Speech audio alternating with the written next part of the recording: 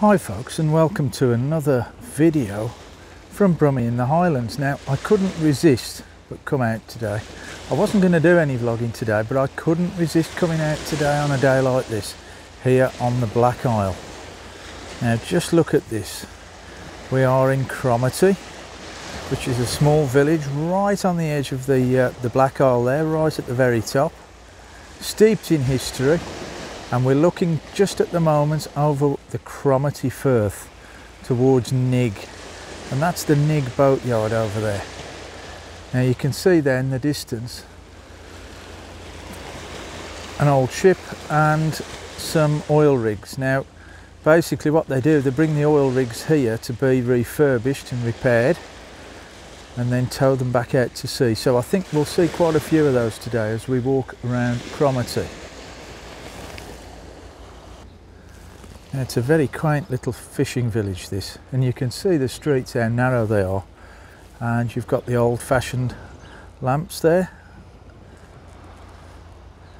The roads are very narrow. Lots of the villages on the Black Isle, the roads are very narrow but very colourful in the summer because they do tend to line the streets, the paths there with uh, very colourful flower pots. Lovely to see in the summer. But we'll just walk, make our way towards the lighthouse and we'll go and have a look at that. And just as we make our way around, just take a look at the colours again on these houses. They're beautiful, aren't they, the colours? Now when I did my video in Rosemarkie, I think I mentioned this, that uh, the houses are painted in lovely bright colours. And you'll see more evidence of that as we walk around. There's a gift shop there, pottery, gifts and crafts and an art gallery around the back. Isn't it beautiful?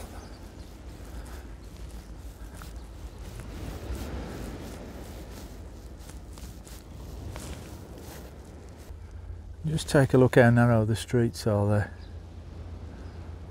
leading up that way. Now Cromarty is steeped in history as you can imagine.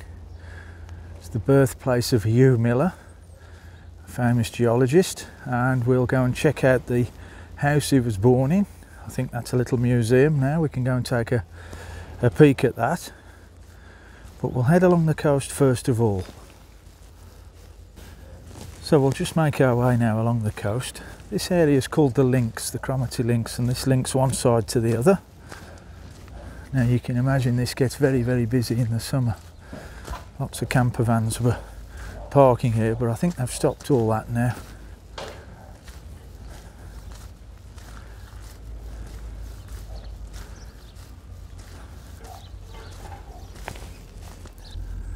Now we've got another view there of Nigg.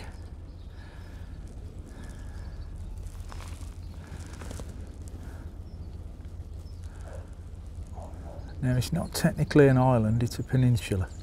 But there is a ferry that runs from Cromarty across to the other side there, across to Nigg, just by where those um,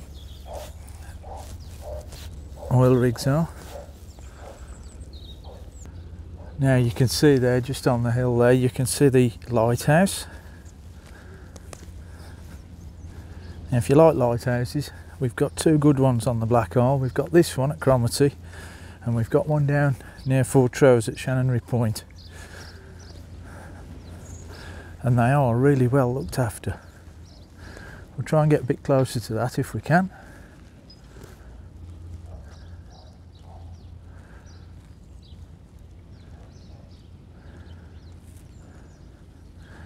And you can see an oil rig just in the distance there, that's waiting to come in. And we've even got a cinema as well here in Cromarty. This structure here that they built recently, well, I think it was pre-Covid they built it. Could be wrong, let me know.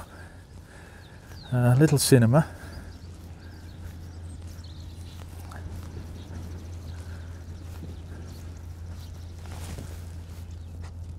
There we go, look at that, cinema here in Cromarty. and it gives you the viewing times as well and what they're doing. There we go. That's unusual, isn't it? Its own little cinema. There we go, folks, the lighthouse. Isn't that gorgeous?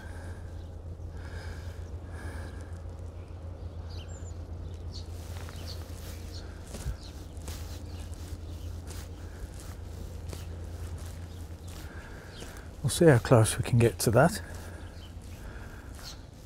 It's well looked after that. Not sure if we're allowed to go in, but we're going to have a wee peek. Now I think this was up started operation back in 1846.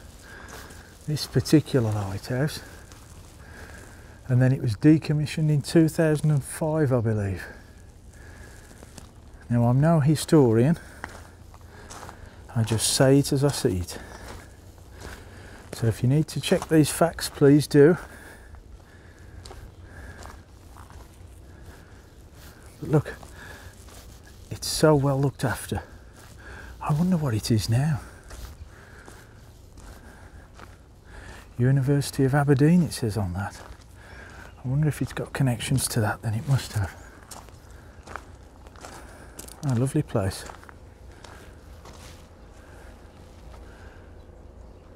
Just pan around again. We'll take another look at that lighthouse from this angle.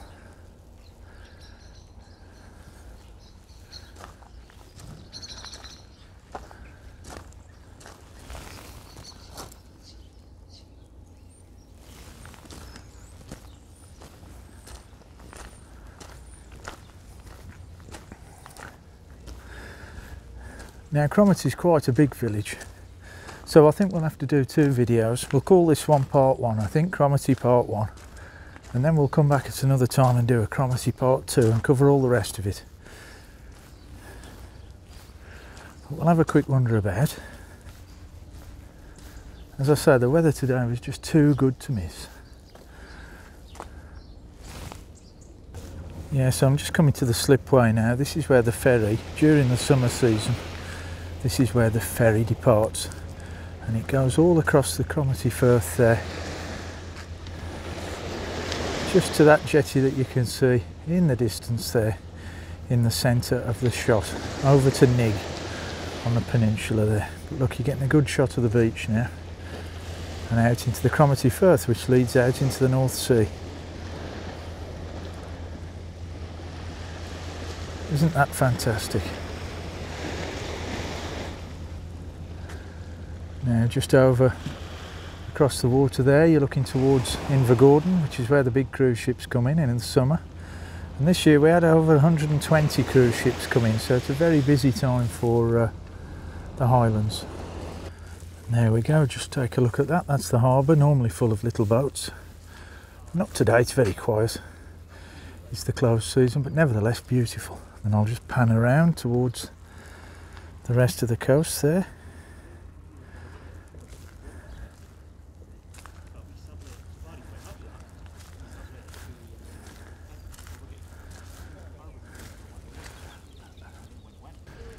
So there we go folks, we'll just take one last look, there's the beach.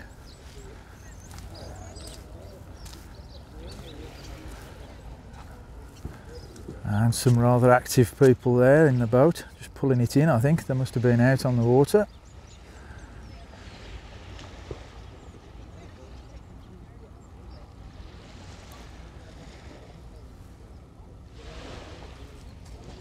Isn't that beautiful? Cromarty Harbour.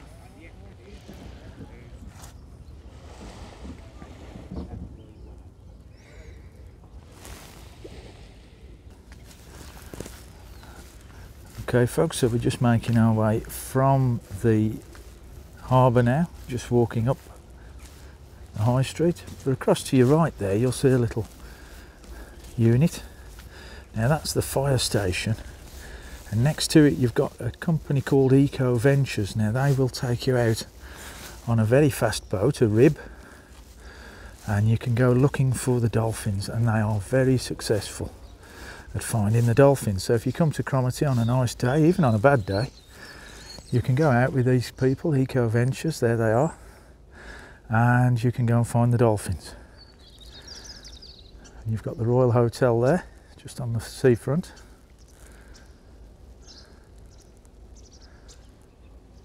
And Suitors Creek. A little restaurant or takeaway there. And we'll just pan round. We'll get another shot there of the lighthouse. You get the idea of where we are. That's George Street just there. So just take a look at how narrow the streets are folks. But how nicely painted the houses are. We'll have a walk down here. We're going to take a look down here.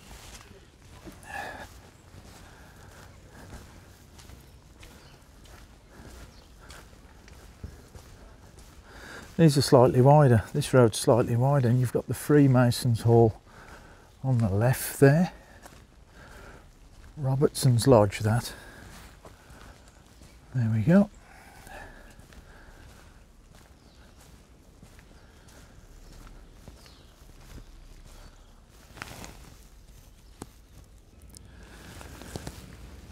So we're just making our way back towards the links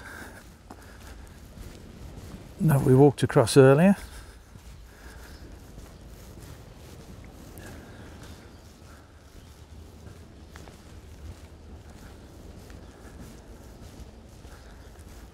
And we'll go and head towards Hugh Miller's cottage, the birthplace of Hugh Miller.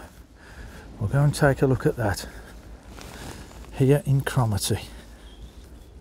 So just coming up on the right folks, we've got Cromarty Primary School. That's a small school, isn't it?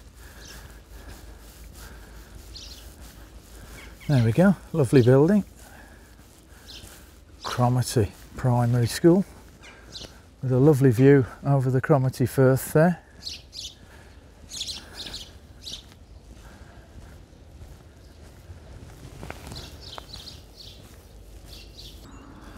A lovely antiques corner there, shop on the corner of uh, Church Street as we make our way down. Now this is a particularly interesting street. I want to take you down here because this will take us down to where Hugh Miller's cottage is, the famous geologist who was born here in Cromarty.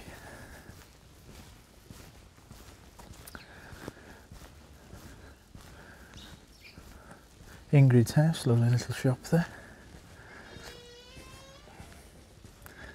And Cromarty Cafe. If you want some refreshments. Again, look at the colours. Not sure if the camera's picking that up too well, but the colours of the houses are beautiful. They really are. And the stonework.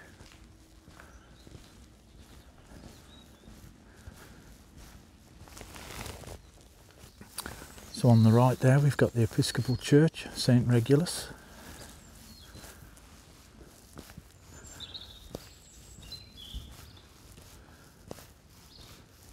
And then the Hugh Miller Institute. And that was the gift of Andrew Carnegie Esquire. Looks a bit like a library to me. Again, yes, is it a library? Yes, it is. It's the library, Cromarty Library. There we go. But originally it was the Hugh Miller Institute, the gift of Andrew Carnegie. Lovely building. Look at the architecture, isn't it gorgeous? So we're getting closer now to Hugh Miller's cottage. Now here, just past this house on the left, that used to be the Cromarty Arms. I'm not sure if it's still called the Cromarty Arms. I know it's been taken over recently. But that used to be the Cromarty Arms. Ah, it's called the Fishertown Inn now. You could probably get a beer or two in there if you were visiting. And the Cromarty Courthouse, look at that. Isn't that fantastic?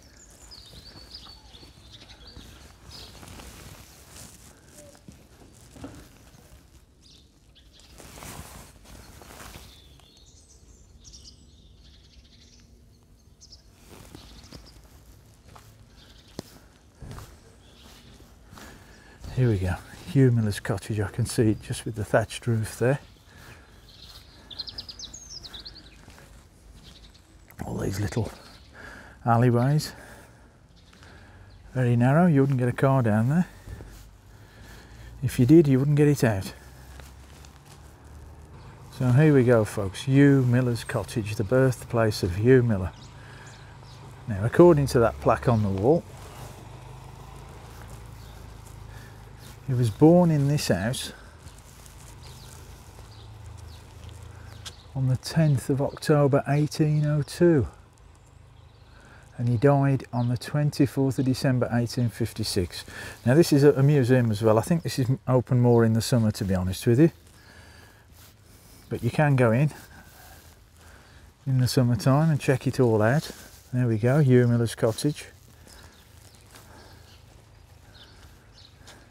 Look at that. Isn't that fantastic? And the thatched roof as well. That really is fantastic. Now I'll continue walking along Church Lane. You've got an old cobble street there. Look at that. Look at the stones there.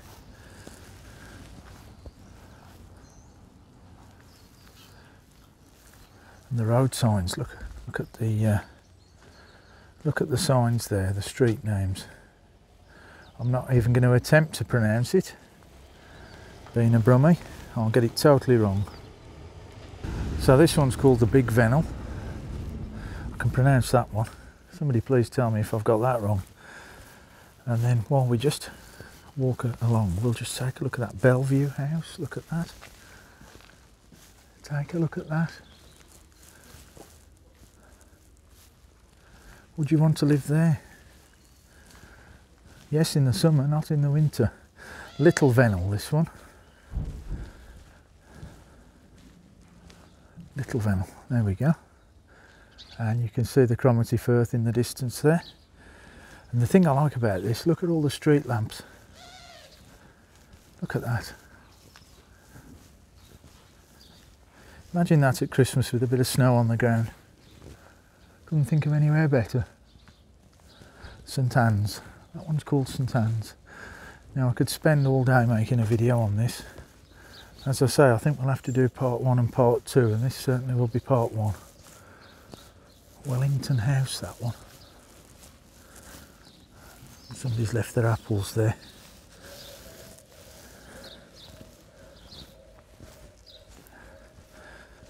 So we could walk all the way down here.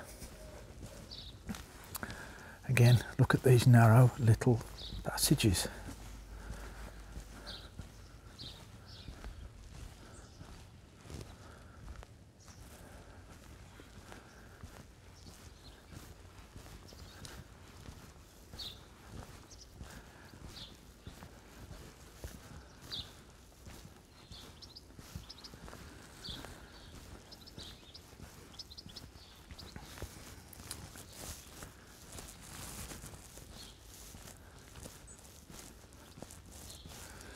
The East Church, historic parish church. There's an old boat there as well. I bet there's some history in that graveyard. I wonder if anybody still uses this church. Let me know. So just at the end of Church Lane now, or the beginning, whichever way you're coming from, you've got the East Hall. Now I wonder what that's used for. It doesn't look as though it's used anymore. That looks like the old school hall, doesn't it? But again, if anybody knows, let me know. I'm always keen to know these things. The Black Isle is a wonderful place. So much to learn. The old brewery.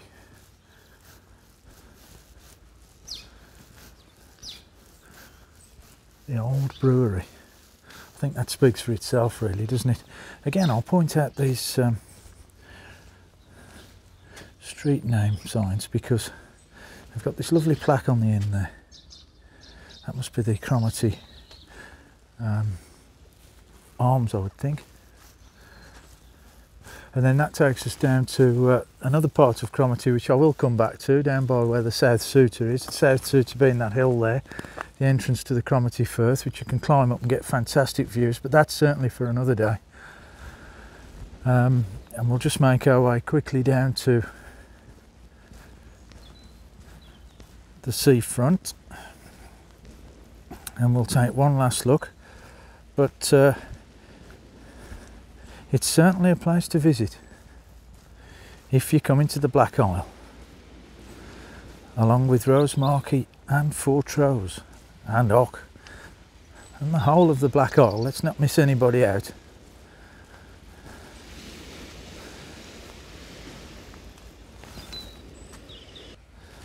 Well there we go folks, that was a quick visit to Cromarty on the Black Isle. I couldn't resist coming out. The weather is fantastic here and we're nearly into December now. But I hope you've enjoyed that video of Cromarty. Again, as I said before, we will need to come back and do part two. It's just too much to see to do it all on one video. So if you've liked it, press the like button, press the subscribe button and the little bell button to give you notifications of any future videos. And there will be more there will be more. I also have a facebook page brummie in the highlands. Check that out. I put some photos on there. And there will be links to the videos but uh, um, until the next time from brummie in the highlands from cromarty on the black isle see you again